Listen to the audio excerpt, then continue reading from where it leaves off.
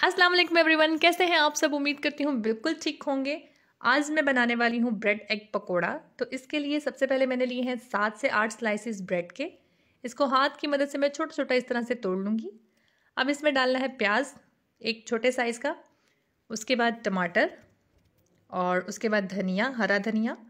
फिर इसमें बेसन, एक कप। उसके बाद one teaspoon red chilli powder और हाफ़ टेबल स्पून नमक।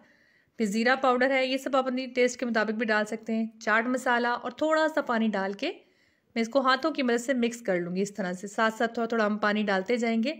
बहुत ज़्यादा इसको जो है ना अपने पतला नहीं कर लेना, ठीक है? थोड़ा थिक थिक सा इसको आपस में जैसे जुड़ जाए।